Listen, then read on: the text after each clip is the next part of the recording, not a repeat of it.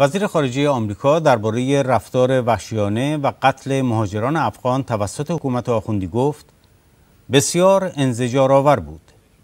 پاسداران رژیم ایران در مرز افغانستان در استان هرات مهاجران افغان را مورد ضرب و و شکنجه قرار دادند و غرق کردند.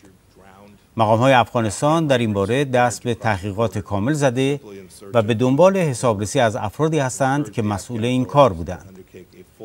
به خاطر نشان کرد رژیم تروریستی حاکم بر ایران از اسد که جان صدها هزار نفر را وحشیانه گرفته و میلیون ها مردم سوریه را مجبور به فرار کرده حمایت می کند و رژیم ایران به همان میزان رژیم سوریه مسئول این اعمال است.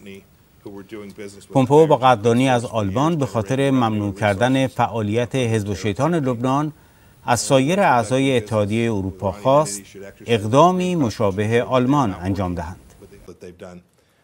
We're not the only nation whose citizens are subject to Iranian regime's brutality. I was appalled to see reports last week of Iranian guards on the border of Afghanistan's Herat province abused, tortured, drowned. اتحادیه اروپا خواستار تحقیقات کامل و شفاف در رابطه با کشتار وحشیانه مهاجران افغانستان توسط حکومت آخوندی شد. سایت این اتحادیه نوشت اتحادیه اروپا خواستار تحقیقات و شفافیت کامل و همه جانبه درباره حمله نیروهای رژیم ایران به این مهاجران است.